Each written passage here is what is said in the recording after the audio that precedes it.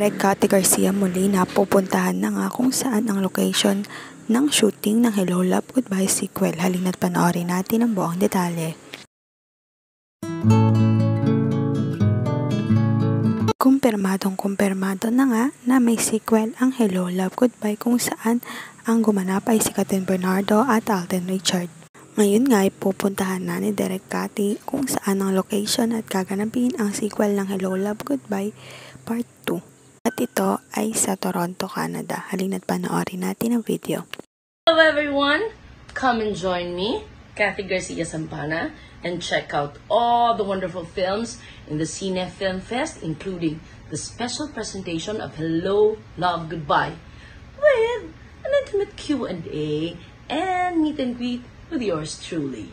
So, scan the QR code now or click the link in the Cine Institute bio to get those tickets now. Sa ngayon, maghintay na lamang ng latest update sa Katniel.